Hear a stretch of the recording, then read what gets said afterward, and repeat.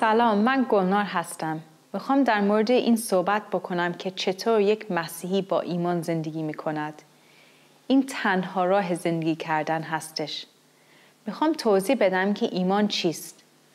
وقتی ما با ایمان زندگی می‌کنیم می‌بینیم که چطور خدا نیازهای ما رو فراهم می‌کند ما رو حفظ می‌کنه و ما رو تسلی میبخشه.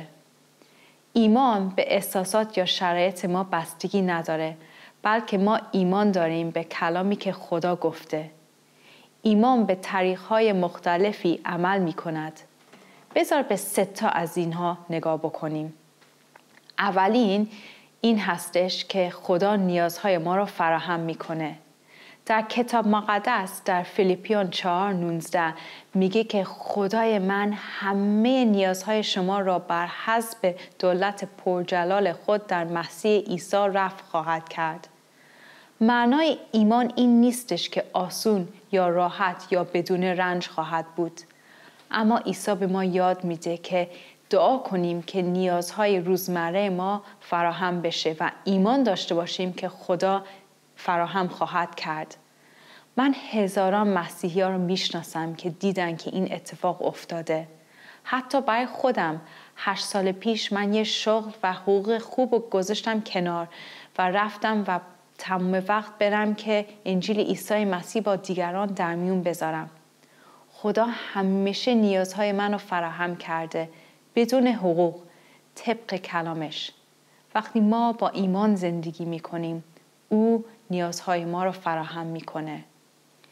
دومین این هستش که خدا ما را حفظ می‌کنه وقتی با ایمان زندگی می‌کنیم.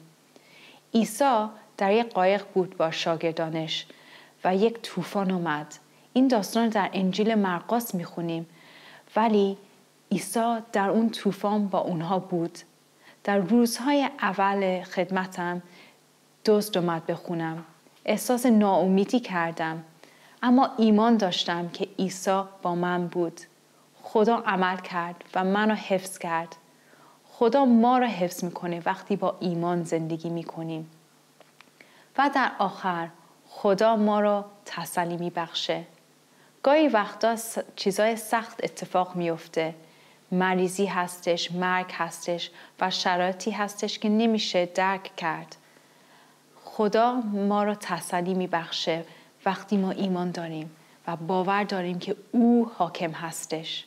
رومیان 8:28 اینو میگه که در حق آنان که خدا را دوست میدارند و بر طبق اراده او فرا خونده شده اند همه چیزها با هم برای خیریت اونها در کار است.